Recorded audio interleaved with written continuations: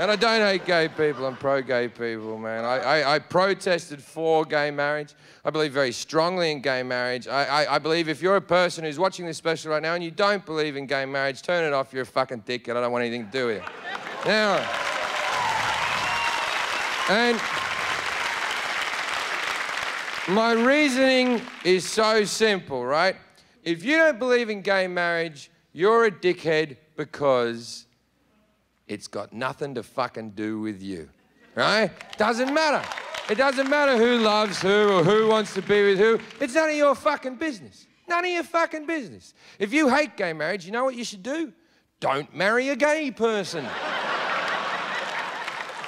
That'll be your little way of getting around it. That'll fucking show the gays, eh?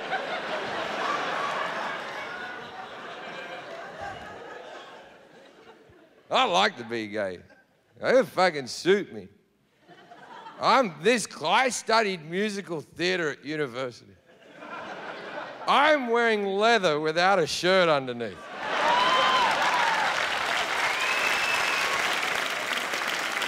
I would love to be gay.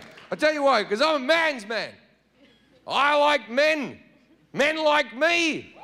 We like each other. I hate women.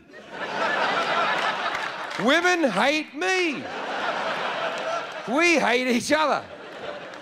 The only reason I couldn't be gay is because I could never fuck a man. Because I could never fuck something that I respect.